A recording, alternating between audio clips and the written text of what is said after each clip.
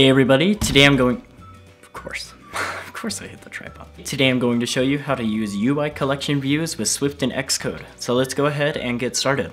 So this is what we want to accomplish in this tutorial. I just have a collection view filled with a bunch of labels and items that I programmed programmatically. And it just scrolls through and it'll update according to how many labels you have or how many items you have.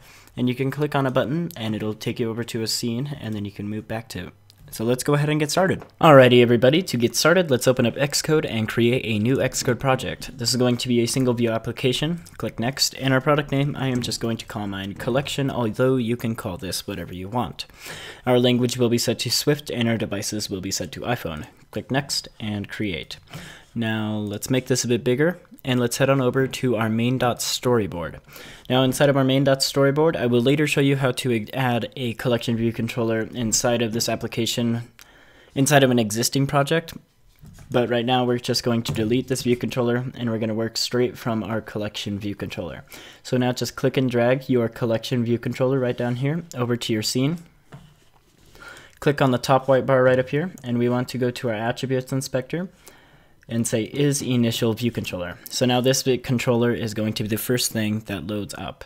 Now let's head on over to our assistant editor and as you can see there's no file attached so let's make a file attached by just closing up our assistant editor and go over to our view controller.swift. Now inside of this you have a class. Uh, now this class will control a certain view according to what it is. So we can go class and we'll call this collection view controller. This will just be the name that it's referenced by and then it'll be of the superclass of a UI collection view controller like so. So now we can go back to our main.storyboard and we can go click on our collection view controller. For some reason that did not change. Let's go back, click on the top white bar, is the initial view controller. Let's click on this right here and we're gonna click on it looks like a little page right here. It is our identity inspector. And go over to your class, and we're going to change this to whatever we named our class in our viewcontroller.swift. Now go head on back to your main.storyboard, and as you can see, we have the class perfectly aligned. Now, one thing we want to edit is this cell right here. So I'm just going to click and drag, make this cell the size I want. You can also click on this cell, go over to your size inspector right over here, and you can make it the width and height and just see if that's the way you want it. So I'll make my width 140 by 140. Random numbers. You can make this however you want. Now let's go ahead and click and drag a label onto our view cell right there. And as you can see, you're not going to be able to see, to see that. So click on your collection view cell, head on over to your attributes inspector, and we're just going to change the background color of our of our cell just to a nice blue color. Now let's head on back over to our assistant editor. And that did not load properly, so if you want to switch this up, click on our, our manual. And okay, that didn't load up properly. Okay, let's head on over to our viewcontroller.swift and we're going to edit things over here. So in order to do this, let's just say uh, collection view controller and it'll be cell for item at index path. This will sound very familiar to how you would work with table views. So you want to say cell for item at index path and we want to put how many index how many rows of cells there are going to be.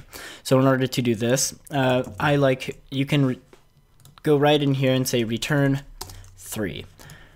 Now that will work Actually, th this is different than what I was thinking of. Okay, so right up here you want to say collection view, and this is number of items in section. Okay, this is what I was looking for. So number of items in section is going to put how many items or how many cells do you want inside of your collection view. So now just tab all that in, and now we have this function. And inside of this, you can just say return 3. So now we're going to have three of these collection views that you have right here with the labels and everything. And then down here, we want to edit those those cells that we have. In order to do this, we just say var, and we'll call this cell equals collection view dot dec reusable cell with with reuse identifier and we're going to make this reuse identifier and we'll just call this cell so this is what we're going to reference whatever cells we want to edit inside of our collection view controller. And for index path, and we're just going to call this index path. And where I'm getting this from is the index path is right up here. And we're also getting the collection view right up here where it's being called on the UI collection view. And then we're going to, right after this, just say as UI collection view cell. So we're returning that as a cell and then go down here and say return cell. So what this means is anything inside of the, between here where it's created and between here, it's going to return this cell over to the UI collection view cell for the index path. So now if we were to uh, build and run this right now, we would actually have three, three collection views and we're getting an error. So, oh yeah, we need to go back over to our main.storyboard and we need to actually call this with our reuse identifier that we called it. So inside of this, this would just be cell. As you can remember, that was in our viewcontroller.swift and it, this is the deck reusable cell with identifier cell. And also be sure to that it's it's case sensitive, so be sure that it's capitalized properly. Now let's make this, bit, let's go ahead, build and run. And as you can see, now we have three cells with three labels. Now you might be wondering, well, I want to edit those labels, or I also want to build how many cells depending on an array. So in order to do this, you would just say var array equals, and then you go open bracket, close bracket, and inside of these brackets, you just want strings, we'll say. Then outside of these brackets, you add your uh, parentheses just so you can instantiate it. Now let's go down here and we want to say cell dot, or actually, this will be, yeah, cell dot, and this is going to be view with tag, and then we need to go back over to our main dot storyboard, click on our label right here, and right down here you will see this specific thing called tag. Now this tag will be a specific specific tag for whatever label we want to reference. So we'll call this, we'll just put the tag as one. Now go down here to your, go over here to your viewcontroller.swift and we'll make the tag one. And then we say as UI button. So again, I forgot to do, do one more thing. This is going to be the var button is equal to cell view with tag as UI button. So basically we're creating a button referenced off of the tag that we created in our main.storyboard and then we're setting it as a UI button. So now we can edit this button just by simply saying button dot uh, text or sorry this was a UI label so we need to say UI label and then we go down here to our button and say UI button dot text will now be equal to our array for our index path dot row. Open bracket, close bracket, index path dot row. So now let's go ahead and add stuff to our array. And you can say array is equal to open bracket, close bracket, and we're going to add some strings. So open quotation mark, close quotation mark, comma, open quotation mark, close quotation mark. We'll just add four of these. So now we have this one, we'll just put in some random letters.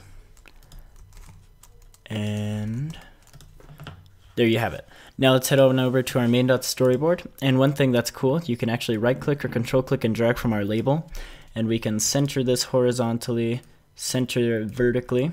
And then we're just going to make this a bit bigger so it fits the whole scene.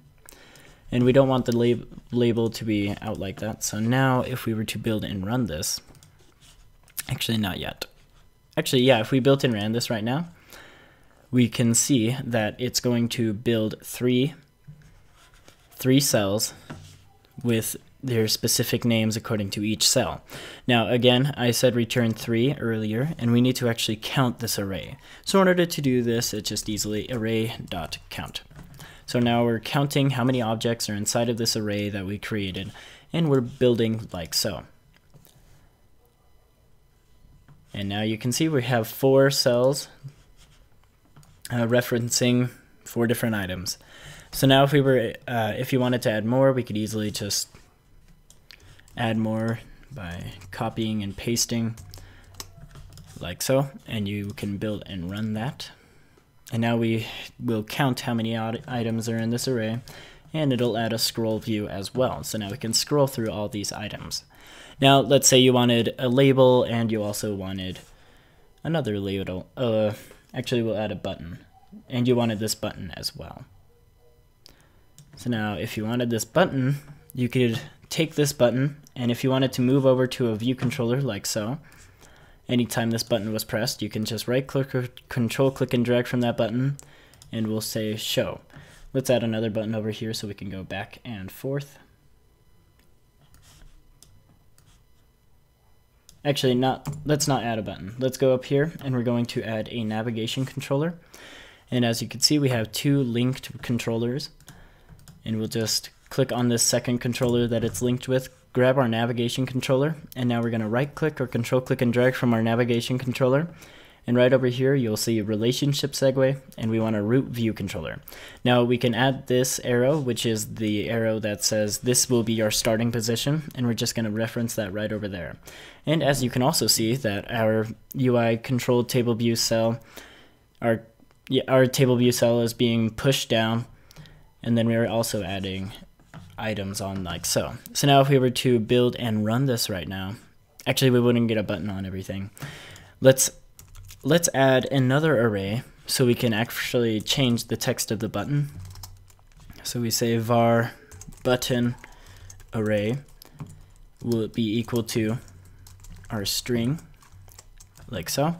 And we'll just say button array dot or button array is equal to and we'll just take whatever we have right here and paste that in. So now we have this array and then go down here and we'll actually take this button that we created and we'll we'll change this variable that we created right here. We're going to change this to label and now we're going to just say label.text and now let's go down here and say var button is equal to cell dot view with tag. So I didn't create a tag, so let's go back to our main.storyboard, click on our button, and now you will see that we have our tags right down here as well. So we can just change the tag of this to 2. Now if we head back over to our viewcontroller.swift, we can say var button cell.view with tag, and our tag will be equal to 2. And this time we say as UI button.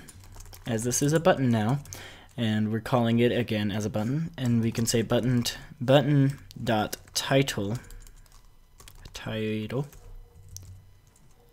title label dot text will now be equal to uh, our button array for the index path dot row.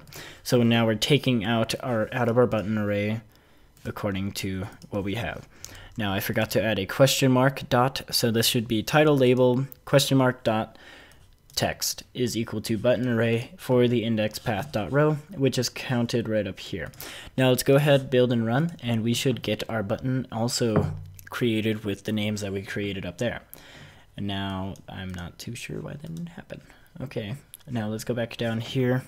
Sorry, this was the wrong way to actually change the button title. You actually need to say button dot set dot set title and our title will be our button button array for the index path dot row. And this is going to be the for control state UI control state state dot normal. So when it's just built in ran, it's going to set the, the title of each of these buttons to a specific or button array or the specific name of the part of the array that we have created at this specific part. So now we have all these buttons named alongside these names and we can click on our button, go back and forth between view controllers like so. That's it for this tutorial. If you enjoyed it, be sure to hit that like button down below. And if you want to see more tutorials like this from me in the future, be sure to subscribe. Anyway, thank you so much for watching and I will see you in the next one. Hey everybody, today I'm going to show you how to use UI control, what are these? Oh, collection views, right.